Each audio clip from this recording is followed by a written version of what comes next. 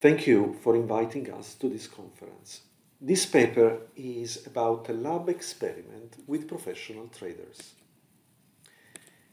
There is a large experimental literature on trading in financial markets using student subjects. The question we ask in this paper is whether professional traders behave similarly to students in the laboratory. We do so by considering three dimensions bubbles behavior, private information aggregation, and strategic reasoning. We would like to emphasize that in this experiment we only used professional traders and portfolio managers, not the wider class of financial market professionals. This is because people who directly trade or invest in markets may behave quite differently from the broader class of financial market professionals. So let's go to the first question. Do traders bubble? Well, I make you guess which of these two panels refers to the trader treatment and which one to the student treatment. I'll give you the answer. This is the panel for the students. The price at which they trade, the median price is the red line, shows the standard bubble behavior that we observe also in previous experiments with students, where the price goes above the fundamental value, which is the dotted line, and only by the end of the experiment converges to the fundamental value. Look now at the traders.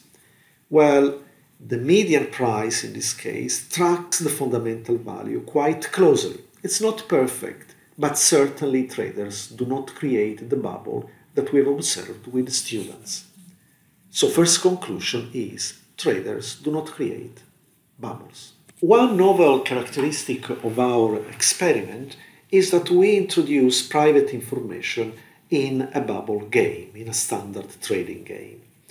The graph that you see here shows the three contingencies that could occur during trading in terms of price change from one period to another. These contingencies are due to private information. The first contingency, HL, is one in which if private information is perfectly aggregated, then we would observe a change in price by 150. The second is one in which we would observe a decrease by 50.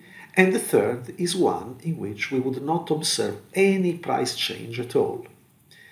Well, in the trader treatment, the results that we obtain on average are quite close to the theory with changes by approximately 130, 50, 0. For the students instead, one can immediately see that the change in price that on average we observe is indeed independent of the specific contingency. The conclusion is that traders aggregate private information better than students. In our experiment, we also asked subjects to participate in a guessing game where they have to guess two thirds of the average. For the students, we observe a mean guess of 37.2, perfectly in line with previous results. For the traders, we observe a lower number. The mean guess is 22.6. Note also that 21.4% of traders were level infinity, meaning they chose either 0 or 1. This is against 3.6% of students who chose 0 or 1. Essentially, traders choose lower numbers than students. But why is it the case? Is it because they have higher strategic ability? Is it because they have different beliefs about the strategic ability of others? Well, to answer these questions, we designed a new guessing game, which is an individual decision making game, in which each agent has to choose eight numbers. A rational agent chooses eight zeros the proportion of traders and students who give the correct answer is the same.